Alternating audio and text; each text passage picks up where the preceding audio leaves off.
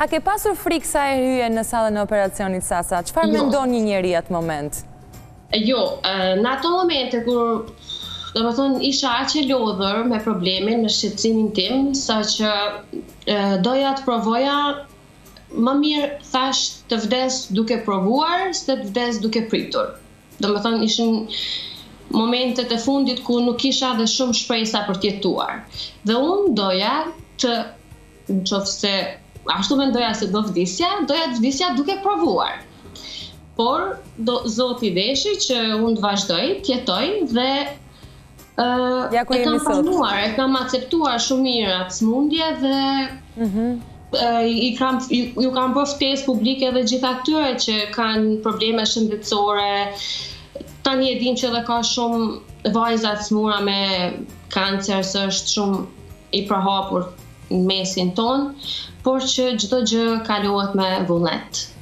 Sasa, patjetër që çdo gjë kalohet me vullnet, edhe ti po e po e tregon më së miri këtë gjë, por patjetër dhe familja e ka përjetuar shumë shumë rëndë, ëh? Ajo nuk diskutohet. Familja e përjeton më keq se personi.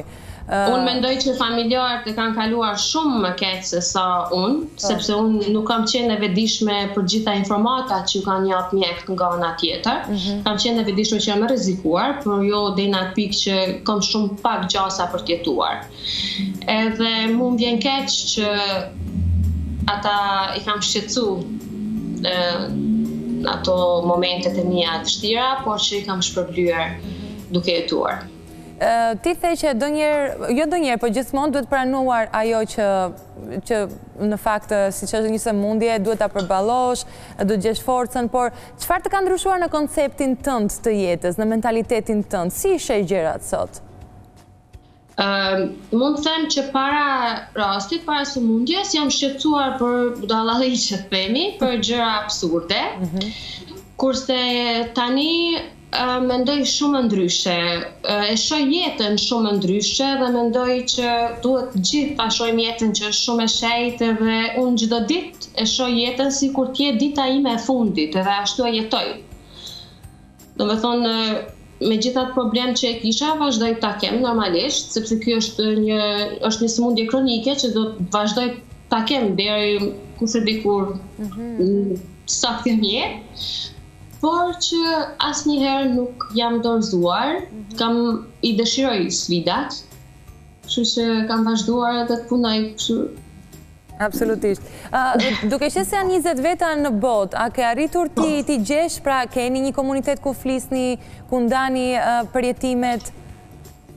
Jo, para domethënë një vit pas operacionit tim, më ka kontaktuar një familje nga Fushë Kruja, ku dhe kam qenë prezent në çdo hap të asaj vajzës që fatkeqësisht nuk ka arritur të mbijetojë.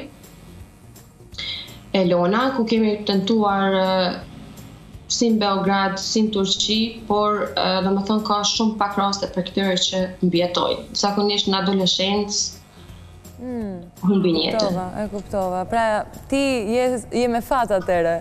Mund ta konsiderosh veten me fat Patjetër që po, patjetër që po, prandaj edhe nuk dua të mërzitem dhe të shqetësohem, edhe dua të jetoj jetën si është më bukur, më mirë. Bravo.